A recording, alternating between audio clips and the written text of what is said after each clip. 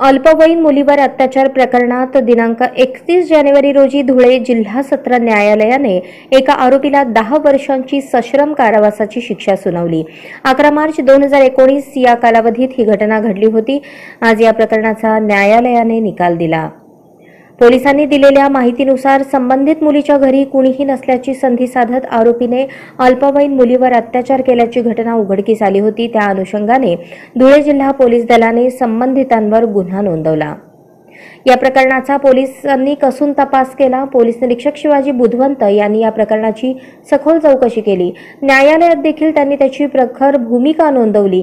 आरोपीवर POCSO कायद्यांतर्गत संपूर्ण कारवाई झाली. या आरोपीस पोक्सो कायद्यान्वये शिक्षा सुनावण्यात आली आहे. धुळे सत्र न्यायालयाने आरोपीला दहा वर्षांची सश्रम कारावासाची शिक्षा सुनावली तसेच पस्तीस हजार रुपये दंड ठोठावला आहे अशी माहिती पोलिसांनी दिली. आजच स्मार्ट महाराष्ट्र न्यूज चॅनलला सबस्क्राईब करा.